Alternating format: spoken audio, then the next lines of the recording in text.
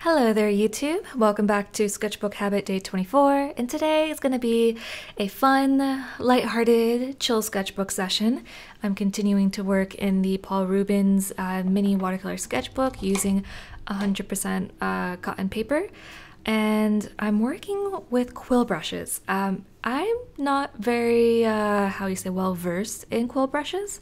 Um, I just haven't really clocked in the hours in using them, but I have this little mug that I've just kind of collected over the past like year or two of like I just think they're so pretty. um, I have a few friends that use quill brushes and they totally rock them. And I've asked for like their opinions on like, hey, which one should I buy and like what sizes and like all my friends like kind of chipped in and uh, so that's like the result of this little collection oh i do want to say um, disclaimer ftc kind of thing half of the jar i do think was gifted um, i believe two years ago, Silver Brushes donated a whole bunch of brushes for me to kind of give away on my YouTube channel. I think it was for celebrating um how many followers? I don't know. Any hoozles they prepared me a giveaway gift and they also uh, selected me a few brushes that they thought I would like, which was so sweet. I was like, yeah, whatever you think works for me. And like, they really gave me a curated, thoughtful set of like, hey, I know you love watercolors. I know you love your round brushes. I think these will totally float your boat. But they also gave me brushes that were like, here's something to expand your horizon. And I believe the brush that I'm primarily using today, the Atelier uh, Squirrel brush, atelier, atelier, atelier, atelier.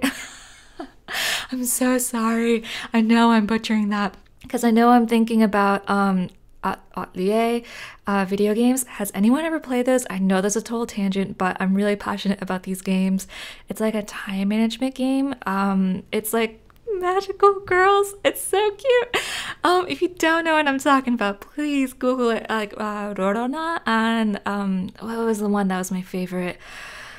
Um, it was the Dusk series. Um, I haven't played many of them. I'm that person that will look into video games all day long and never get around to playing them because it's a commitment, and I really don't have all the hours in the day to like really commit to a very lengthy game. Anywho, was totally off track.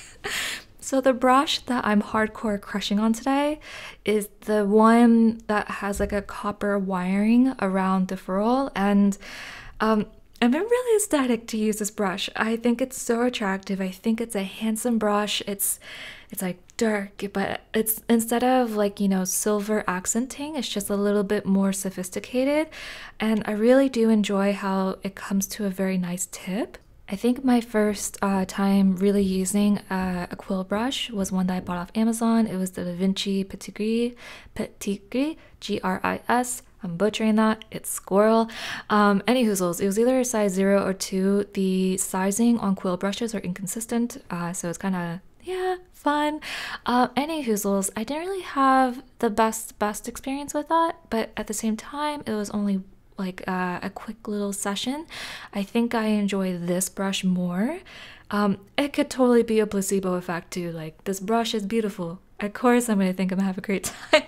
but uh, that's where I'm kind of my whole gist on art supplies that I really don't mind about the quality like if or how I should say the cost if it inspires you to paint therefore it is a good art supply so therefore in my book I'm finding this, it inspires me to paint, so therefore it's a good art supply. I hope that roundabout was uh, any useful. Let's talk about what's going on in the footage right now. So I know many of you have been asking me about a full-on review about the Mijello watercolors, and um, I hear you. I've been, how would you say, a little burned out on them, so I wanted to take a, a step away break for a moment just to kind of, you know, collect myself and revisit. I felt like today was a day that I really wanted just to like, hey, let's just uh, get reacquainted again. Um, I think what's happening with these paints, so I think they're great in terms of saturation, pigmentation, vibrancy. I think they knock it out of the park. They're a little bit slow moving, so I have a little bit of footage of comparing it to the Daniel Smith uh, Quinacridone Rose PV19, and you can kind of see like the Daniel Smith just flows a little bit better, where the uh, Mijellos kind of just sits on the paper and you kind of have to massage it to kind of move it to where you want it to.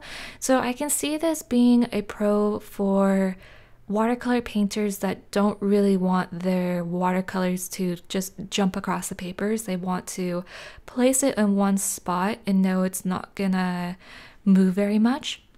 So I'm finding myself having to do most of my mixing on the palettes. And um, if I ever want kind of some granulation, I kind of have to feed extra color and kind of mesh it around on the paper. Um, so yeah, um, I just gotta, I want to investigate that a little bit more.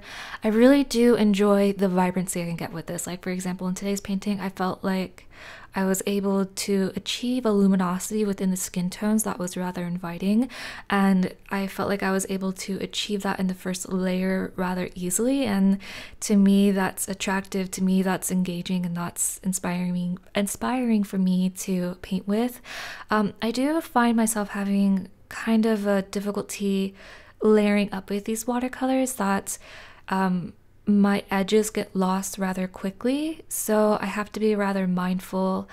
Um, yeah, that part I'm still like trying to navigate because there are times I really love how that happens with the watercolors. For example, when I lay down my initial wash and I ever have hard edges, I can kind of scrub up that hard edge and soften it and then kind of reestablish some shapes. Like, for example, in the beginning, I applied my skin tones and I know I went outside of the lines, you know, around the nose, under the chin, and on the neck. But when I applied the hair, it kind of dissolved some of those uh, harsh edges from that initial wash and then created a new one that framed her very nicely. I thought those those tones, the value, the contrast was just very appealing. It glowed. So I don't mind that it kind of lifts and kind of moves around because it sometimes work for my favor, sometimes does it. So that's why I mean that I need to work on it, that I need to master this a little bit more. With all of that said, I am really happy that I do have the Mijellos. I feel like it really resonates with my style, and um, I'm just that kind of painter that you can give me anything and I will make it work. So um, here I am making it work. Um, anyways, about the artwork today, I felt that how saturated these colors are and how punchy they are, they allowed me to work in a manner that made my portraiture glow a little bit more. Like, I'm very pleased with how today's portrait session went. Like, right off the bat, my first few layers were just so solid. I believe I already mentioned this in previous uh, sketchbook habit videos about my intentions uh, as of recently and that is I want to, you know, get looser with my artwork. I want to um, have more flow within my figures, but ultimately I want to draw cuter girls. I actually, I don't know if I really did say that yet, but here I go again. Um, I really want to push how I capture girls. I really want to inject more spark into them, and I feel like I tapped into that today. And I'm really, really happy how I was able to kind of balance the soft glow, but also a contrast. And um, for me, that can sometimes be a little bit challenging because there's a delicate balance of knowing when to stop uh, pushing certain value ranges.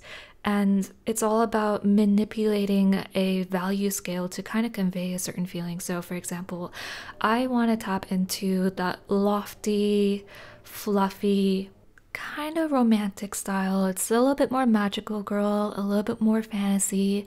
I guess the best way to describe it is very manga-esque, um, like old school 1990s, like just um traditional illustrations and I want that in my work. So I I hope that made sense. I don't think I conveyed myself properly. I'm not really good with words. Um, I'm actually really shy about talking, and um, you can even ask Mr. Honeyball. Back in the days, I would ask him to proofread my posts. Even to this day, I even ask him to proofread my patrons' posts because uh, just writing grammar is not my forte. It's been embarrassing.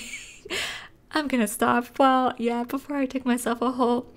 Any usuals, um, I'm happy where I went with today. There were moments of like, do I go further? Do I, uh, what do I do next? And there are certain points where I kind of just take a leap of faith and just like, hey, it's a sketchbook. Just try it out now, see where it goes. Like, for example, I wasn't sure in this area where um, the hair and bangs, they, uh, like I mentioned earlier, my marks kept really lifting, and I really enjoyed like the shapes I was putting down, like these really cool marks.